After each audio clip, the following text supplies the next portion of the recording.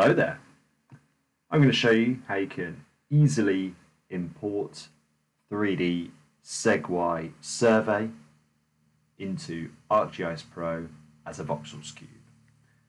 So I've got a 3D survey here, the outline uh, of that is in the pink polygon.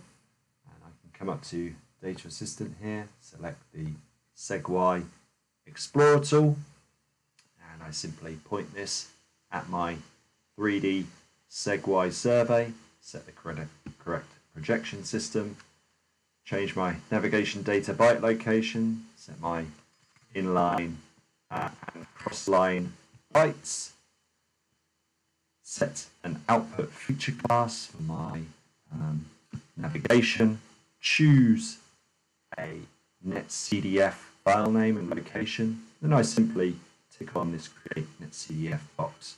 Obviously we have to create a depth seismic cube in ArcGIS Pro 3D window. So we do a simple average time depth conversion and then we hit run.